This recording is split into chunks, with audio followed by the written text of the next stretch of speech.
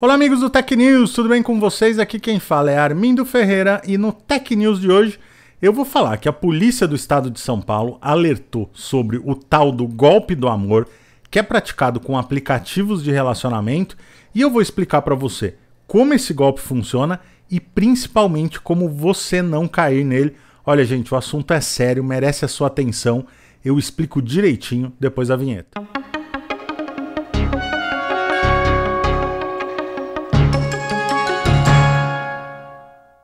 Pois é, gente, esse golpe quem tem sido vítima são os homens, normalmente de bairros de classe elevada. E aí como funciona? A pessoa está lá procurando um relacionamento, encontra um perfil do que aparenta ser uma menina muito bonita, jovem, é, de corpo ali trabalhado na academia, escultural, o par perfeito, né?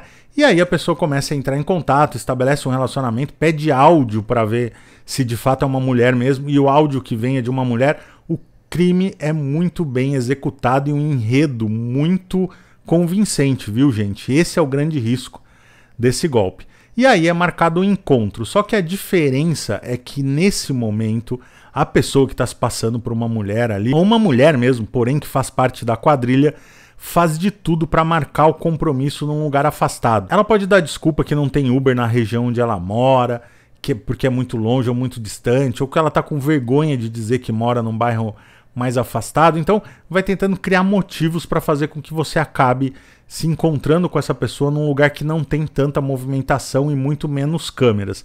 E aí, quando a pessoa estaciona o carro, ela é abordada de forma muito violenta, com capuz, com armas e é levada para um cativeiro em lugar ermo. A polícia já prendeu algumas quadrilhas e afirmou que são quadrilhas extremamente violentas, de pessoas que realmente fazem ali uma extorsão não só de todo o dinheiro da conta bancária da pessoa, como também criam contas, fazem empréstimos, tentam tirar o um máximo daquele é, recurso ali e depois soltam a pessoa do cativeiro depois de alguns dias.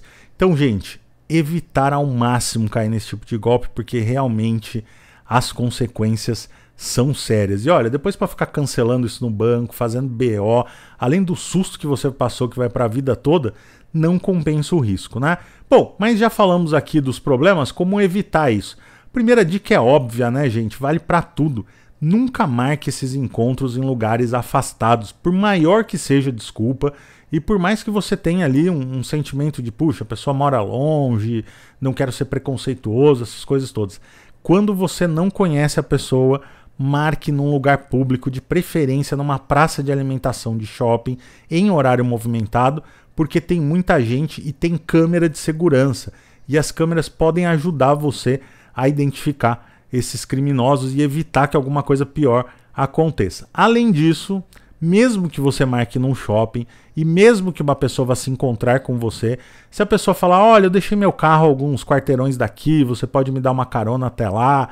Ou "Eu não estou conseguindo Uber para ir para casa, será que você pode me deixar em casa num bairro mais afastado?"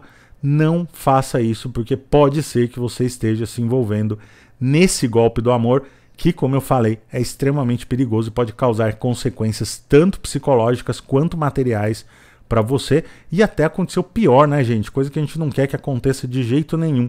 Então, olha só, se for marcar compromisso, marque em lugar público, mas principalmente desconfia de tudo. Desconfia se pedir dinheiro, desconfia do lugar, Desconfia de quem está falando com você nas redes sociais, porque é uma grande chance de não ser o que você está esperando. Tá bom? Eu espero ter ajudado você a não entrar nessa fria. Se cuida e eu espero você no nosso próximo encontro. Um abraço, até lá. Tchau, tchau.